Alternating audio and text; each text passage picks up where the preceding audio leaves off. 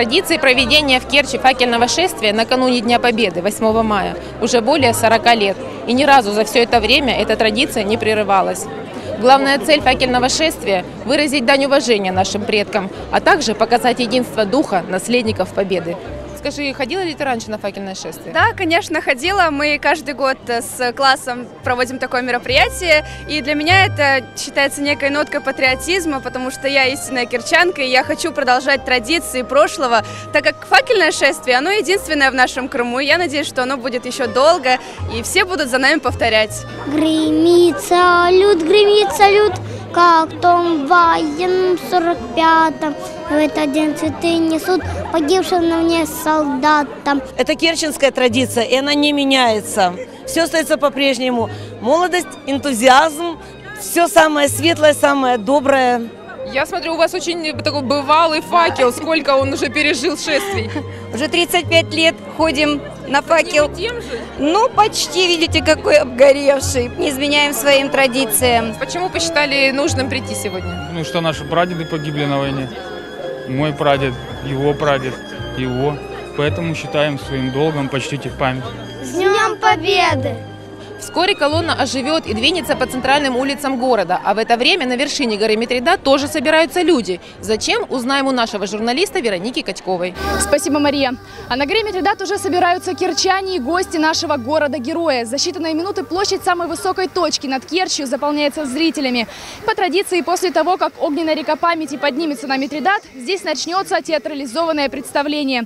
В наш город в этот день съезжаются гости из России и Украины. Давайте узнаем, что сейчас чувствуют горожане.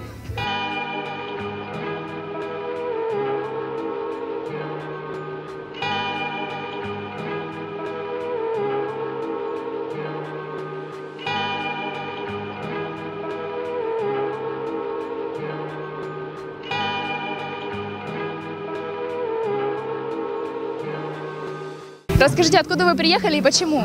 Москва, телеканал «Россия-1». Мы приехали из Приморского края, из города Находки. С Санкт-Петербурга я приехала. С города Нижневартовска Тюменской области. Москва. Из города Темрюка, Краснодарского края.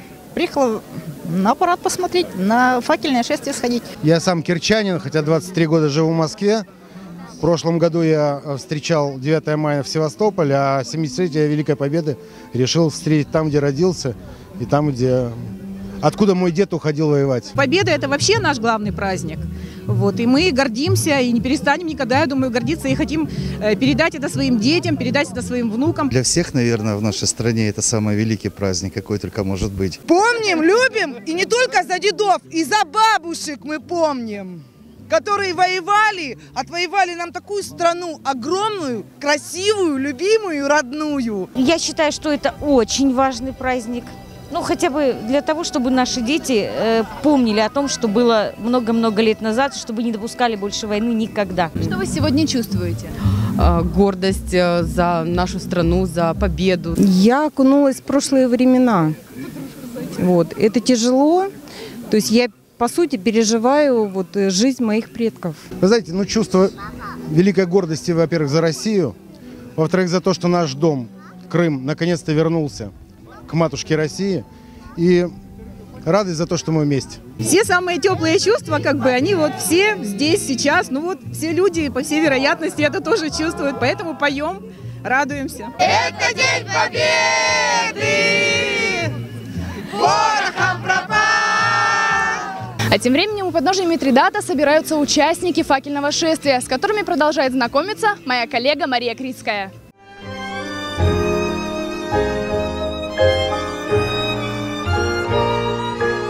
В прошлом году кирчане несли огромную копию Знамени Победы, в этом году 100-метровую Георгиевскую ленту.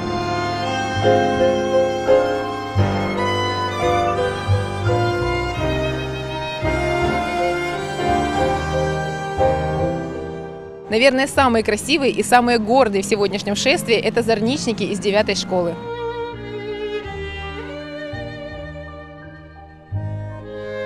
Именно почетно это вот нести гирлянду, быть в белой форме. Я считаю, что это очень почетно, это круто. Впервые в Керчи факельное шествие возглавит военный автомобиль ГАЗ 1943 года выпуска, а за рулем Алексей Конорев. Нашему клубу возложена э, честь впервые на автомобиле военного выпуска возглавлять колонну, которая проследует до Митридатской лестницы. И мы гордимся, что мы патриоты города.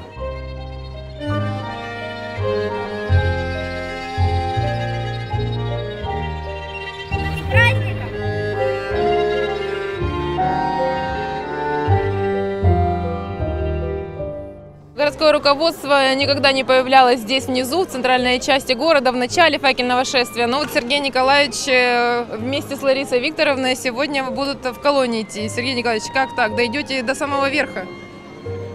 Если сил хватит, дойдем. Но ваше первое факельное шествие или вы вот э, не помните какой раз уже? Нет, ну почему первое? Вот сколько, наверное, существует факельное шествие, столько и принимал в нем участие. 42 года. Значит, 42 года и принимал.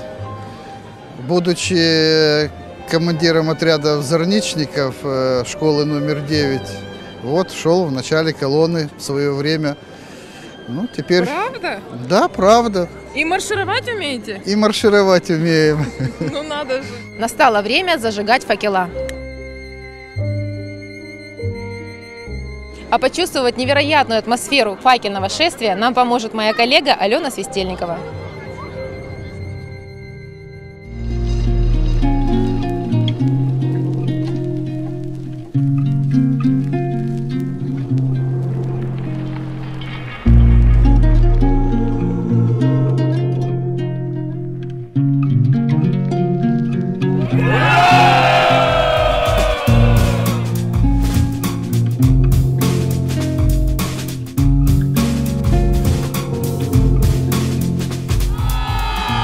Житель нашего города зажег свой маленький факел, чтобы внести огонь победы на героическую гору, к величественному обелиску славы. Всюду реют георгиевские ленты. Кирчане ликуют, поют героические песни и поздравляют друг друга с праздником. Школьники, студенты, педагоги, работники предприятий, пенсионеры. Каждый из них сегодня стал частью единого целого. Ведь победа одна на всех.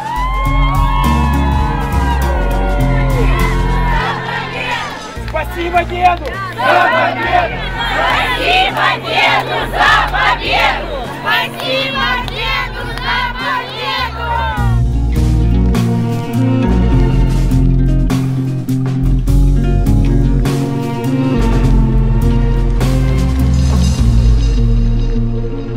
Огненная река разлилась по центральным улицам Керчи и уже заполонила первые пролеты Митридатской лестницы.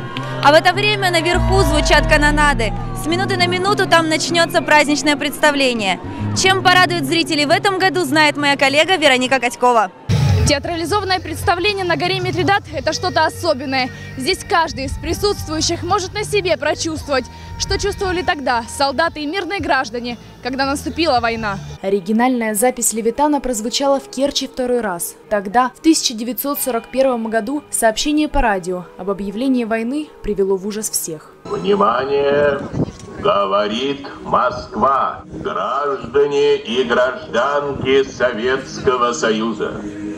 Сегодня в 4 часа утра, без всякого объявления войны, германские вооруженные силы атаковали границы Советского Союза. В этом году мы показываем э, каждый сюжет независимо друг от друга. Вот, то есть сюжетная линия сплетается только между верой, надеждой и любовью, которая не покидала Керченскую землю, надежда, которая не покидала Аджимушкай, э, вера, которая не оставила Керчь, и любовь, конечно, которую до сих пор люди хранят в своих сердцах. Э, 70 лет прошло, а мы все равно бережно храним память о погибших родственниках. Вот, и вот на этих трех основных слонах будет держаться наш сюжет. Если ты фашисту с ружьем не желаешь навек отдать дом, где жил ты, жену и мать, все, что родиной мы зовем, знай, никто ее не спасет, если ты ее не спасешь. Знай, никто его не убьет, если ты его не убьешь. Так убей фашиста, чтоб он, а не ты на земле лежал. Не в твоем дому, чтобы стон, а в его по мертвым стоял. Так убей же хоть одного, Так убей же его скорей! Сколько раз увидишь его, столько раз и убей! Представление на горе Митридат в этом году одной лентой сплело судьбы кирчан подземного гарнизона Джимушкай, погибших в Багеровском рве, оставшихся навсегда в окопах израненной Керчи. Бой. И снова в бой идут солдаты, своими телами закрыв родную землю. Но вера, надежда и любовь живут в сердцах у каждого, не покидая героев до последнего вздоха. Когда у вечного огня советский солдат поднял красное знамя победы, горожане радовались, будто снова наш город был освобожден. Раскаты салюта озарили мирное небо. Победа снова за нами.